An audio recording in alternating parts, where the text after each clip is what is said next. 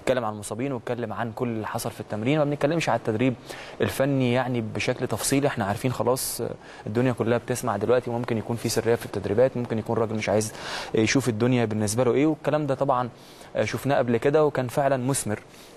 لكن أتكلم على جزئية إن أنا إزاي أفوق فيرود أو إزاي أفوق لعيب أنا كنت مستبعده أو كنت مقعده. إزاي أرجعه إن أنا أعمله تمرين تخصصي بحجم صلاح محسن مثلا أو ايا كان اللعيب اللي مطلوب مني كمدير فني واعي مدير فني كويس قوي إن أنا أخلي دايما حضراتكم تشوفوا الفرقة أو تشوفوا اللعيبة في أحسن ما يكونوا من صورهم الفنية والبدنية. يعني أشوف أحمد فتحي دايما بالشكل اللي إحنا شفناه في مباراة السوبر. إزاي أشوف أنا معدل الأعمار معدل اللياقة البدنية؟ أحمد فتحي ما شاء الله ما شاء الله. لسه بدري قوي لما نتكلم عن السن بتاعه لكن بتكلم في العموم. إزاي المدرب بيفكر إزاي إن أنا بدري على التدوير لكن أنا عندي ماتش الجمعه وماتش الاثنين فلازم أريح اللي عمل مجهود كبير جدا. مش عايز اقعد اتكلم على الراجل كتير لأن أنا بصراحة متفائل جدا جدا بيه وشايف حاجة فنية إن شاء الله تحصل كبيرة جدا إن شاء الله يغير من شكل النادي الأهلي الفني اللي إحنا عايزينه اللي إحنا عايزينه. فدايما كل الدعم للمدير الفني والحمد لله الراجل ماشي على أحسن ما يكون وعلى أحسن ما إحنا كمان بنتوقع اتكلم عن رجوع اللعيبة المصابين عن أزارو عن مروان اتكلم عن مروان هو يرتدي قناع الفترة اللي جاية بإذن الله. اتكلم عن كل اللعيبة المصابة. افتقدنا لعيبة كبيرة جدا. إن شاء الله كله يرجع في المباريات القادمة بسرعة جدا. خلاص بقى كان في أخبار متعلقة بالتدريب خلاص مش هنقولها. سامي قمصان بيقول بنركز في مواجهة كانو سبورت وهدفنا مواصلة الانتصارات طبيعي جدا. مدرب النادي الأهلي ايا كان اسمه إيه لازم يتكلم وكلامه يبقى صح جدا. ان إحنا بنركز خلاص في المباراة اللي جاية بصرف النظر عن النتيجة اللي حصلت المباراة اللي فاتت. الأهلي دايما بيبص المباريات بصرف النظر عن أي حاجة حصلت قبل كده. وده دايما سمة من سمات البطل. اتكلم كمان إن الجهاز الفني بقيادة رينيه فايلر دايما بيتكلم مع اللعيبة إن إحنا بنركز في كل مباراة بننسى المباراة اللي إحنا كسبناها بنركز في المباراة اللي جاية. عايزين كل مباراة نظهر بشكل فني أعلى وأكبر وده اللي إحنا كمان مستنيينه منك يا مستر فايلر. أنت وجهازك الفني والجهاز المعاون. قال عايزين نعمل نتيجة بأداء مش عايزين المكسب يخدعنا مش عايزين كلها كله كلام في المقام الأول والأخير كلام تحفيزي.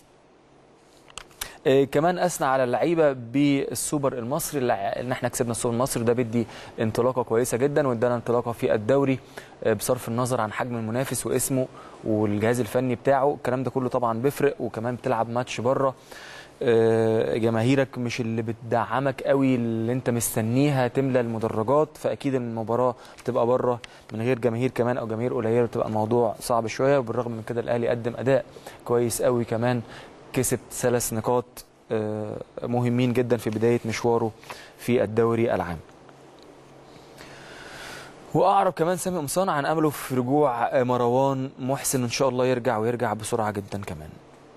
الكابتن الكبير الكابتن طه إسماعيل نجم النادي الأهلي ونجم منتخب مصر اللي بيعتذر عن منصبه. كابتن محمود الخطيب وجه للكابتن أو دكتور طه إسماعيل وجه له الشكر في الفترة اللي ترأس فيها لجنة التخطيط بالكرة. مش هتكلم طبعا عن الكابتن طه إسماعيل أو دكتور طه إسماعيل يعني اسم كبير جدا وراجل بيشتغل بمنتهى الجهد والإخلاص أكيد مهما نتكلم عنه مش هنديله حقه. دايما بينور أي مكان ودايما بيكبر أي مكان هو فيه. لكن آه أنتوا عارفين النادي الأهلي بيبقى ليه شكل وليه مبادئ وليه أسس. الكابتن محمود الخطيب كان بيتكلم إن مفيش حد ينفع يحلل مباريات وهو شغال في النادي الأهلي. فأكيد حضراتكم عارفين تفاصيل كل الموضوع. والكابتن والدكتور طه إسماعيل تواصل مع القناة إن هو يحاول يطلع بره الاستوديو اللي بيكون فيه نادي الأهلي طرف من طرف المباراة. لكن طبعا لما يكون عندي قيمة بقيمة الشيخ طه إسماعيل أبقى عايزه في كل استوديو كمان في المباريات الكبيرة. فأكيد هم رفضوا إن شاء الله الموضوع يتحل. ونشوف الدكتور طه موجود في النادي الأهلي. لكن طبعا الدكتور طه إسماعيل موجود في النادي الأهلي بصفة رسمية أو بصفة غير رسمية. هو ابن من أبناء النادي الأهلي. إن شاء الله يرجع تاني بشكل رسمي. ضياء وحيد ناشئ النادي الأهلي اللي اتصاب في التمرينة لوحده كده اتصاب جاله رباط صليبي. ألف سلامه عليك يا كابتن ضياء وإن شاء الله ترجع بسرعة جدا. عمل عملية رباط صليبي ناجحة مع الدكتور أحمد أبو عبلة طبيب فريق الناشئين بالنادي الأهلي. تعالوا نتكلم عن آه، ألبوم النادي الأهلي. اللي اتكلم عليه العميد محمد مرجان وبصراحة النادي الأهلي معودنا على كده إن هو دايما سباق بفترة كبيرة جدا عن كل اللي حواليه. عميد محمد مرجان بيقول إن ألبوم النادي الأهلي أو ألبوم النادي الأهلي الرسمي جسر للتواصل مع الجماهير. آه، قال لو عندنا طبعا لقطات ممكن نعرضها عن ال ال يعني التقديمه اللي كانت آه، في ألبوم النادي الأهلي حاجة انت كأهلاوي لازم تحس ان ناديك نادي كبير جدا ولازم تعرف لازم تتأكد ولازم تتيقن ان ناديك سابق كل اللي حواليه بمسافات آه، ضوئية كمان العميد محمد مرجان مدير التنفيذي النادي الأهلي قال إن فكرة إصدار الألبوم الرسمي النادي الأهلي جات من منطلق حرص مجلس إدارة النادي الأهلي برئاسة الكابتن الكبير محمود الخطيب على التواصل مع الجمهور وربطهم بالنادي ورموزه من مختلف الأجيال. وجه آه، العميد محمد مرجان الشكر لنجوم كرة القدم بالنادي الأهلي من الأجيال المختلفة والذين حرصوا على حضور المؤتمر الصحفي والذي عقد اليوم الأربعاء للإعلان عن إصدار أول ألبوم للنادي الأهلي أول ألبوم رسمي.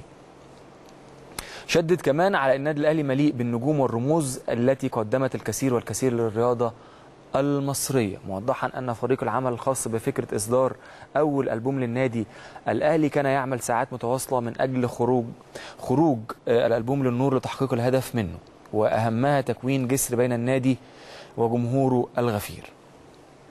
وجه الشكر كمان للعديد من إدارات النادي المختلفة اللي ساهمت وساعدت واجتهدت في مشروع الألبوم الرسمي للنادي الأهلي وفي مقدمتها إدارتها التسويق والإعلام والمستشار سعد شلبي مستشار التسويق لمجلس الإدارة وشركة برزنتيشن الراعي الرسمي للنادي الأهلي. دي قدام حضراتكم صور أرشيفية من آه، ده من مؤتمر. آه تمام. تمام. أكد كمان أن مجلس إدارة آه، النادي الأهلي بيواصل العمل بهدوء وفي صمت من أجل الحفاظ على مكانة النادي الأهلي وتحقيق طموحات جماهيره الغفيرة والعريضة. كمان عضو مجلس الإدارة آه، الضماطي بيقول مكسب أو بيعدد مكاسب إصدار أول ألبوم تسويقي للنادي الأهلي.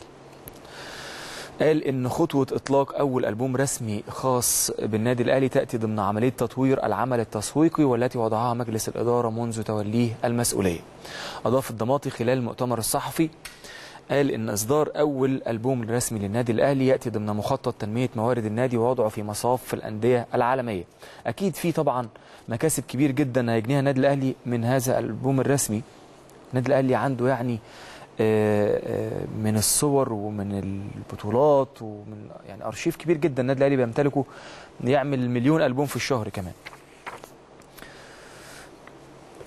نروح لخبر تاني. الكابتن جمال الغندور.